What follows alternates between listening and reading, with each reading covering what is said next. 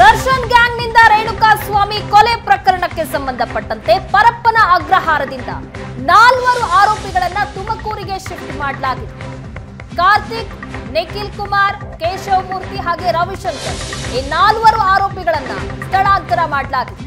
ಪರಪ್ಪನ ಅಗ್ರಹಾರ ಜೈಲಿನಿಂದ ತುಮಕೂರು ಜಿಲ್ಲಾ ಕಾರಾಗೃಹಕ್ಕೆ ಶಿಫ್ಟ್ ಮಾಡಲಾಗಿದೆ. ಪ್ರತ್ಯೇಕ ವಾಹನ, ಶಸ್ತ್ರಸಜ್ಜಿತ ಬೆಂಗಾವಲು ಪಡೆಯೊಂದಿಗೆ ಸ್ಥಳಾಂತರ.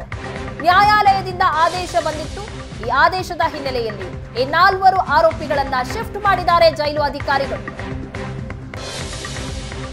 ಬಗ್ಗೆ ಹೆಚ್ಚಿನ ಡೀಟೇಲ್ಸ್ ಕೊಡ್ತಾರೆ ನಮ್ಮ ಪ್ರತಿನಿಧಿ ಮಾಂತೇಶ್. ಮಾಂತೇಶ್, ಈಗ ದರ್ಶನ್ ಅಂಡ್ ಗ್ಯಾಂಗ್ನಲ್ಲಿ ಇದ್ದಂತಹ ನಾಲ್ಕು ಆರೋಪಿಗಳನ್ನ ತುಮಕೂರು ಜೈಲ್ಗೆ ಶಿಫ್ಟ್ ಮಾಡಿದ್ದಾರೆ. ಶಿಫ್ಟಿಂಗ್ ಯಾವ ರೀತಿಯಾಗ ಆಯ್ತು ಪ್ರಗತಿ ಏನು ದರ್ಶನ್ ಗ್ಯಾಂಗ್ ನಿಂದಿದ್ದಂತಹ ಅಂದ್ರೆ ರೇಣುಕಾಸ್ವಾಮಿ ಕೊಲೆ ಪ್ರಕರಣದಲ್ಲಿ ಆರೋಪಿಗಳಾಗಿರುವಂತಹ ನಾಲ್ವರನ್ನ ತುಮಕೂರು ಜೈಲಿಗೆ ಶಿಫ್ಟ್ ಮಾಡಿರುವಂತದ್ದು ರವಿಶಂಕರ್, ಕಾರ್ತಿಕ್, ಕೇಶವ್ ನೇಕಲ್ ಈ- ನಾಲ್ಕು ಜನರನ್ನ ಈಗ ಶಿಫ್ಟ್ ಮಾಡಲ ಮಾಡಿರುವಂತದ್ದು. ಸಾಕಷ್ಟು ಬಿಗಿ ಬಂದೋಬಸ್ತ್ ಅಲ್ಲಿ ಅಂದ್ರೆ ಜೈಲಿನ ಸುತ್ತಮುತ್ತ ಇರುವಂತಹ ಎಲ್ಲಾ ರೀತಿಯಾದಂತಹ ಬಂದೋಬಸ್ತ್ ಅನ್ನ ಕೈಗೊಂಡು ಇವ್ರನ್ನ ಏನು ಪೊಲೀಸ್ ಭದ್ರತೆಯಲ್ಲೇ ಕರೆತಂದು ಜೈಲಿನೊಳಗೆ ಶಿಫ್ಟ್ ಮಾಡುವಂತ ಕೆಲಸವನ್ನು ಕೂಡ ಎಲ್ಲವೂ ಕೂಡ ಮುಗ್ದಿರುವಂತದ್ದು. ಏನು ತುಮಕೂರು ನಗರದ ಹೊರವಲಯದಲ್ಲಿರುವಂತಹ, ಏನು, ಜೈಲ್ ಜೈಲಿನಲ್ಲಿ ಇವ್ರನ್ನ ಇಡಲಾಗಿದೆ. ಆದ್ರೆ ಇವರು ಈಗಾಗಲೇ ಕೋರ್ಟ್ಗೆ ಹೋಗಿ ಕೂಡ ಕೇಳ್ಕೊಂಡಿದ್ರು, ನಮ್ಮನ್ನ ಶಿಫ್ಟ್ ಮಾಡಿ ಅನ್ನೋ ಹಿನ್ನೆಲೆಯಲ್ಲಿ ಕೋರ್ಟ್ ಆದೇಶದ ಮೇರೆಗೆ ಇವ್ರನ್ನ ಇದೀಗ ಶಿಫ್ಟ್ ಮಾಡಿರುವಂತದ್ದು ಅಲ್ಲಿಂದ ಬಂದಂತಹ ಅಧಿಕಾರಿಗಳು, ಬೆಂಗಳೂರಿಂದ ಬಂದ ಪೊಲೀಸರು ಕಂಪ್ಲೀಟ್ ಆಗಿ ಎಲ್ಲಾ ಪ್ರೊಸೀಜರ್ಸ್ ಮುಗಿಸಿ, ಇಲ್ಲಿರುವಂತಹ ಜೈಲಿನ ಅಧಿಕಾರಿಗಳಿಗೆ, ಅಧೀಕ್ಷಕರಿಗೆ, ಅವರ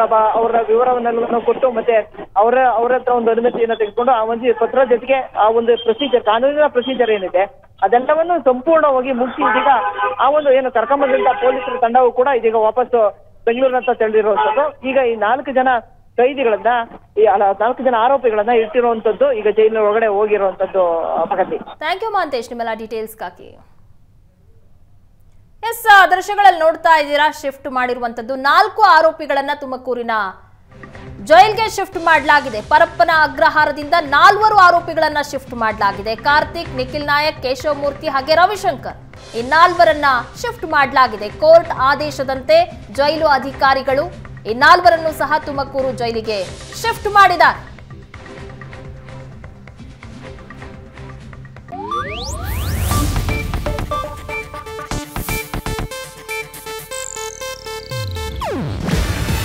ಇದು ಏಷ್ಯಾನೆಟ್ ನ್ಯೂಸ್ ನೆಟ್ವರ್ಕ್ ಪ್ರಸ್ತುತಿ. ನೀವು ನೋಡ್ತಿದ್ದೀರಾ ಏಷ್ಯಾ ನೆಟ್ ಸುವರ್ಣ ನ್ಯೂಸ್.